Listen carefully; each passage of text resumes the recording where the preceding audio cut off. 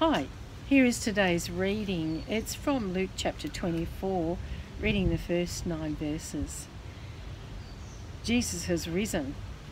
On the first day of the week, very early in the morning, the women took the spices they had prepared and went to the tomb.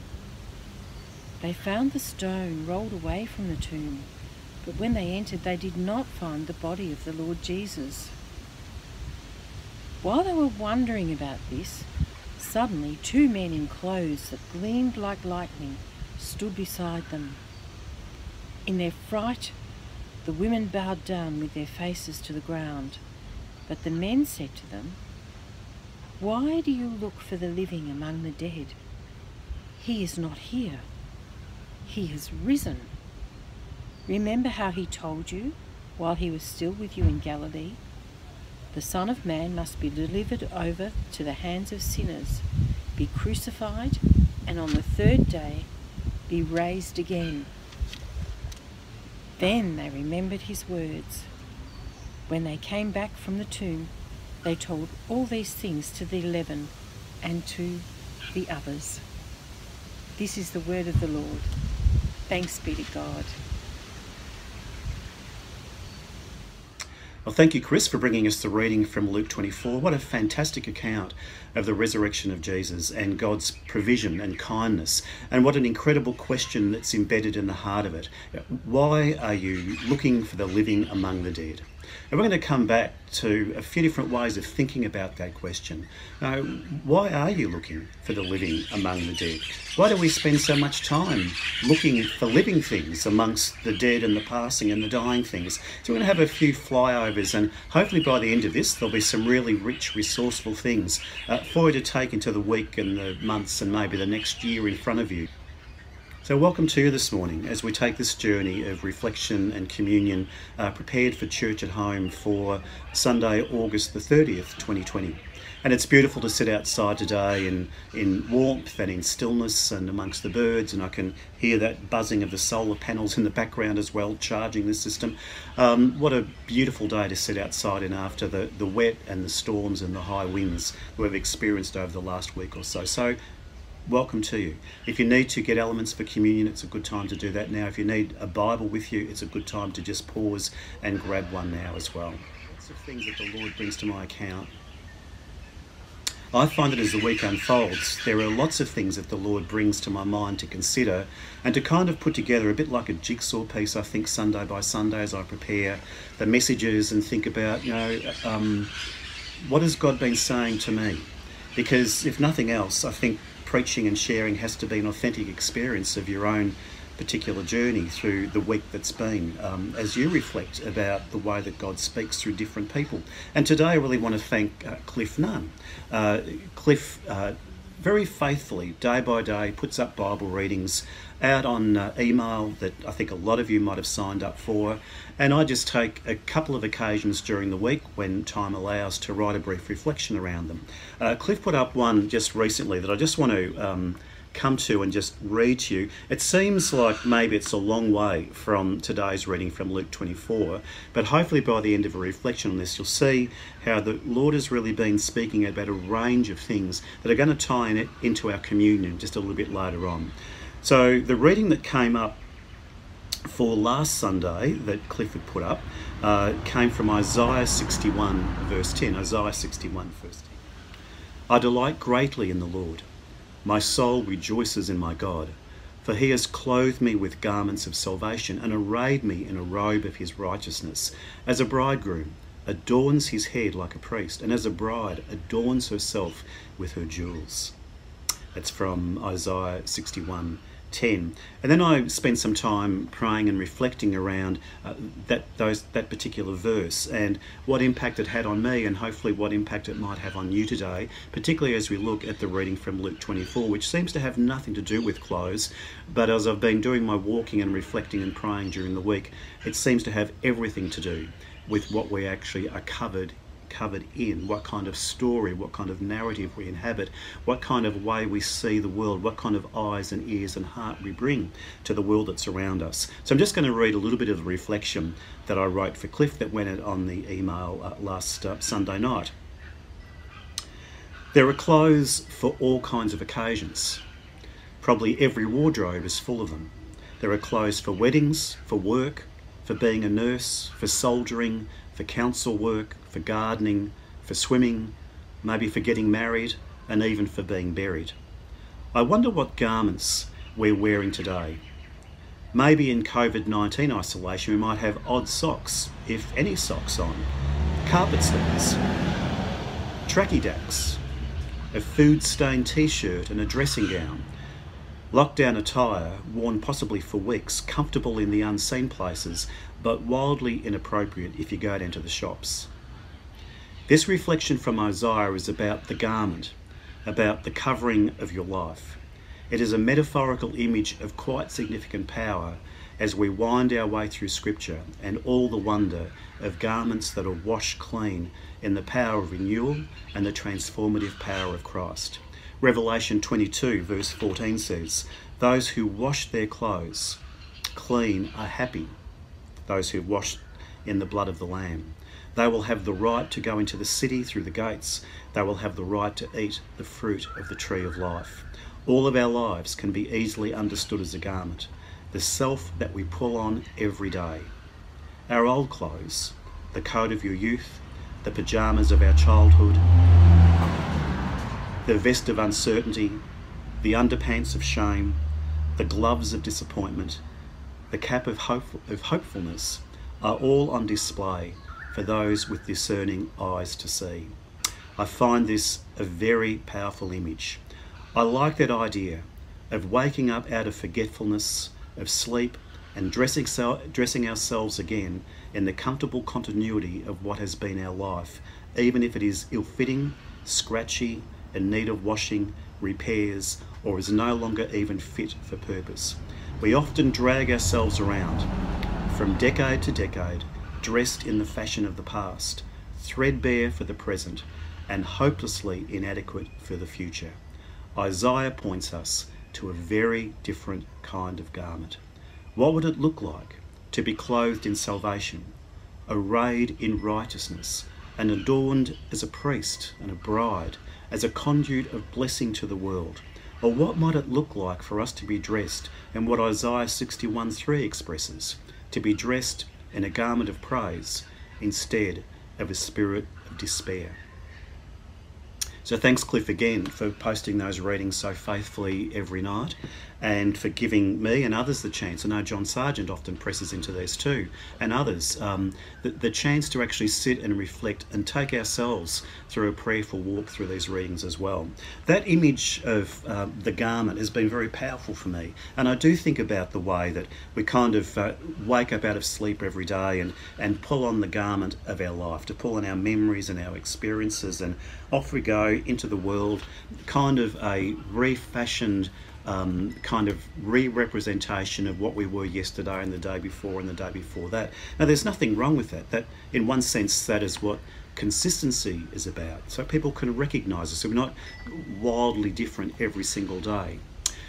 But then again, you know, sometimes the garment that we pull on, the garment that we hold to, is pretty shabby. It is um, something from the past.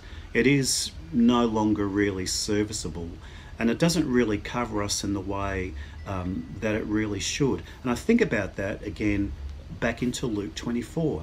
I know it doesn't say much about garments or clothing, but you know, I, I picture um, these women coming to the tomb on this uh, Resurrection Sunday. And they don't know it's Resurrection Sunday.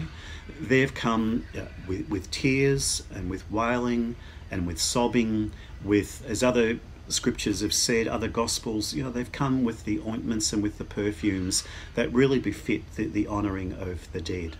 And they've come to honour Jesus. They've come to honour the one that they've grown to love and to revere. They've come in the in the shame and the bereavement and the shock of the crucifixion just a couple of days beforehand, and, and they've come maybe even in fear because they know that the authorities have been brutal about um, those who follow Jesus. They, they want all of these understandings completely squashed and quashed and done away with. So I think about what they must have been thinking that day as they got up, as they dragged on their lives, their clothing, of bereavement and grief, and also their clothing of honour, and they made their way to the place of the tomb where they knew that Jesus had been laid. And they'd brought all of those things to, to bathe and to wash and to just hold his uh, dead, uh, deceased body and to bathe him with tears and with perfume. And as they approach um, the tomb, as other gospels say, that a stone's been rolled away.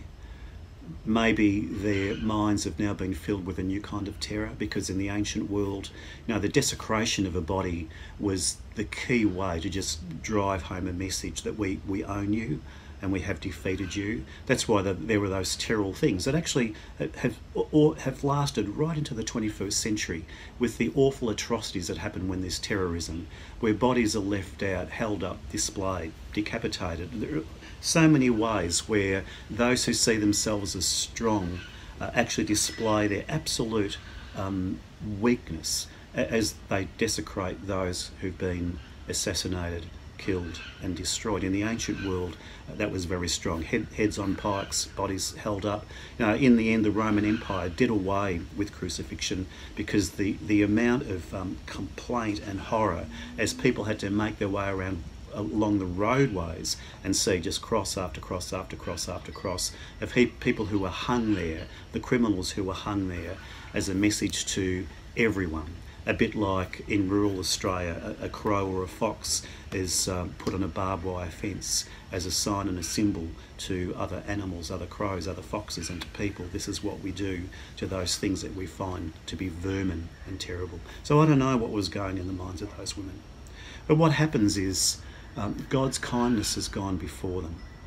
And it's a beautiful consistency, I think, in Luke's gospel. At the very beginning, we meet the angelic presence who comes to Mary with a powerful message of, You're going to be the bearer of the Saviour into the world. And now, at this point, as the women approach the tomb with all of those things going on in, in their minds and their heart and, and their tears, uh, they become aware of these two dazzling men in, in white, iridescent white.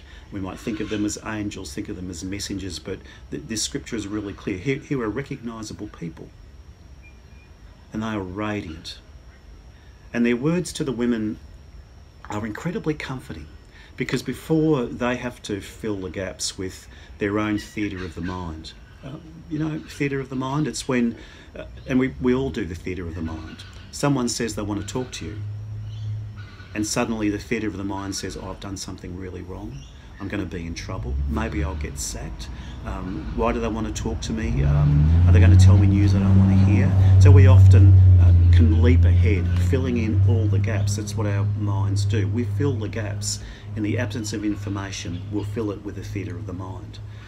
So I love the kindness of God who puts these messengers there to just stop the women from going into a dark and a gloomy place. Have they stole, stolen the body? What have they done to Jesus now? Are, are we going to find him hanging up on a wall somewhere? No, the words from these dazzling men are why, why are you looking for the living among the dead? He's not here. He's arisen just as he said he has. And then you find the whole demeanour of the women has changed. There's something about the message that's now in them. And I know the Gospels all reflect on this in different ways. Uh, they all um, recall different things that the women had experienced, or one of them might have experienced. In John's Gospel, it's Mary encountering the gardener, the one she thinks is the gardener, and then it's the word from Jesus. But I, I, I love this because there's a, a transformation in the nature of their lives. And when I think about the nature of the garment, this is like um, taking away that garment of, of heaviness and replacing it with a garment of praise and with song and with joy, taking away the garment of sadness and the garment of despair and the garment of loss and the garment of uh, what's going to happen next, the garment of turmoil, the garment of bereavement, the garment of tears. Now that's replaced with a garment of expectation and and of delight and and wonder. Um, when will they see Jesus? And so their legs now carry them into this new awakening of actually the, the Lord has risen. And so when I think about the communion that we share, uh, and I love sharing it week by week. In fact, I love the idea of communion every day. In fact, Scripture says whenever you meet, whenever you're having breakfast or lunch or tea together, bring something of the communion with you. Um, because I think this communion really speaks to me of a new kind of garment. And what I love about communion is you do have to pause and stop. So you might even want to do that now. If you need to get um, bread and, and a cup to share, why don't we do that? So when I take communion, and probably for all of us it's different, there's lots of different seasons of communion for me, lots of different ways of thinking about what uh, Jesus' words to me are today in this season, in COVID 19, in, for tomorrow, whatever's required. I think about the need to pause and this is a bit like uh, me waking up of a morning. What, what clothing will I pull on?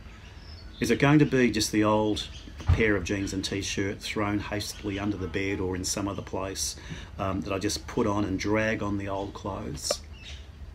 The old way of doing things, you know, the old world of sin and death, the old world of disappointment, or maybe like those women going to the tomb, you know, wearing the clothing of deep grief and deep mourning because you know this is what the world does to you.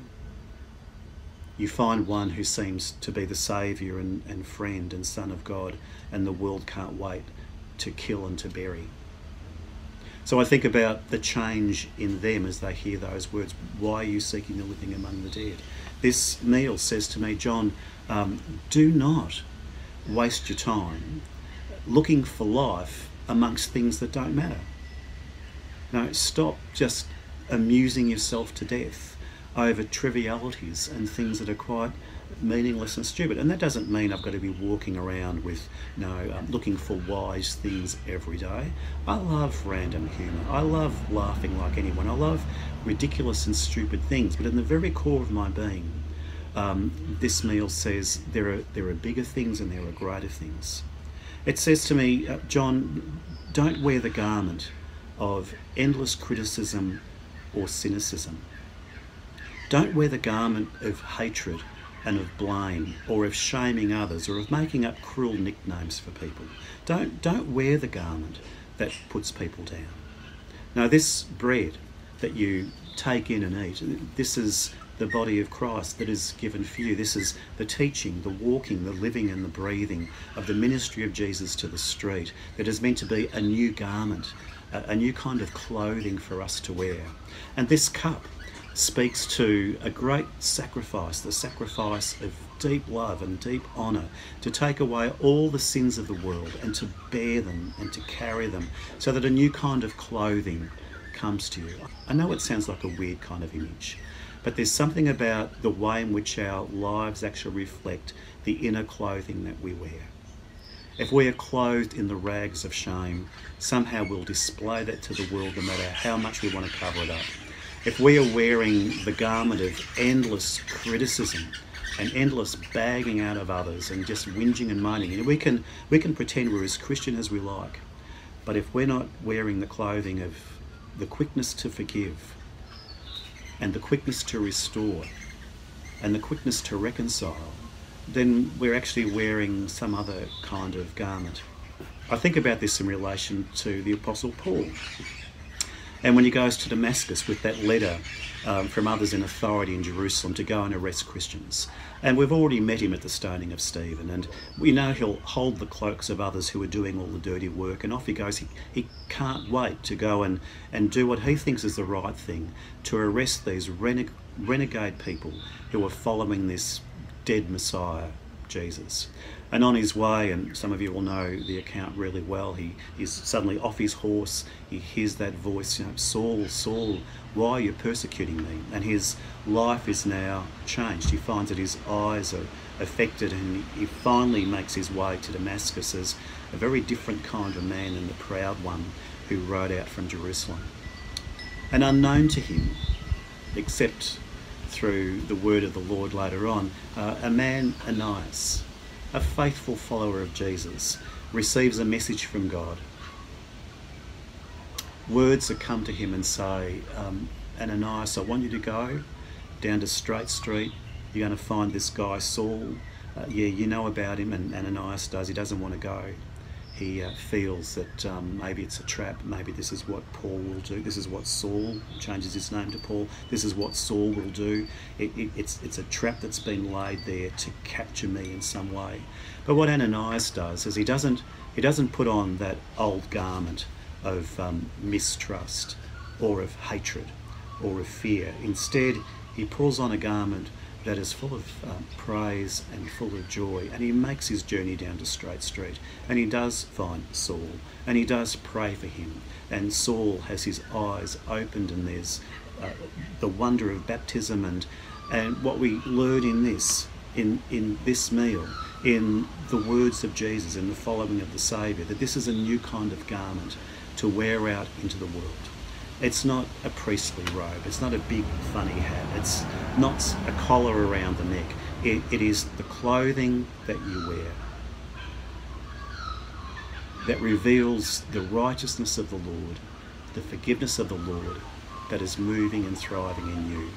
Now, I don't know whether you've noticed, but this world needs clothing that is like that. People clothed in the resplendent wonder of the resurrected Jesus. Why are you looking for the living among the dead? Why are you looking for life among the dead and the passing things? Why are you looking for life out of the remains and ashes of yesterday when the Lord has gone before you to Jerusalem and to the ends of the earth? Let's pray and then we'll share in the bread and the cup. Lord God, I really want to thank you for your kindness, your kindness to those women who, in fear and trembling, went to a tomb and found two dazzling men who brought them a message of great hope that in fact the Lord was risen, no longer dead, and now their feet would carry them in a very different way into a very different world. Lord, I pray today for that to be brought into our lives as well through this bread and this cup, that you would anoint this meal through the power of the Holy Spirit to continue to open our eyes, open our ears, open our hearts, flood our spirit with the joy and the hope that comes with resurrection power. Help us, Lord, to set aside the old clothes of sin and death, and help us, Lord, to put on the new garments of praise and of joy and hope. We live in a world that has seriously lost its way. Great nations that have fallen and become dens of liars and thieves. Lord, help us to pray well, lovingly, for those who seem to have lost their way, as I've lost my way, and as others lose their ways. Lord, we're under pressure every day with false news and conspiracies and stupidity. So, Lord, help us to hold to your living word, to your living grace, to your way and your walk, to reveal the fresh and new things of the kingdom of God into the world around us. So, Lord, bless us as we eat and as we drink. In your name, Amen. Why seek the living among the dead? Jesus took bread and broke it, and he said, Take and eat. This is my body, and it is given for the all of you every nation, every tongue. Let's eat together.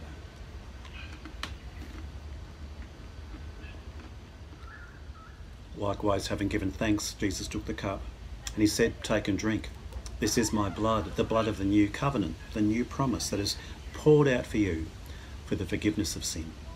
So take and drink as we anticipate meeting the Lord this week, as we anticipate a new world that is coming, as we find ourselves in work of reconciliation and justice, in love for the poor and the needy, in prayerfulness, in acts of great kindness that reveal the clothing that we wear, the inside clothing of hope. Let's drink together.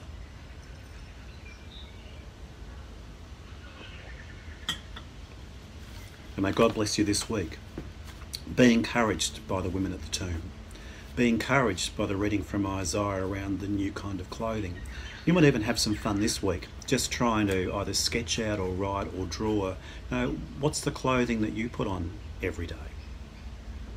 The stuff that you drag from under the bed, from the back of the wardrobe.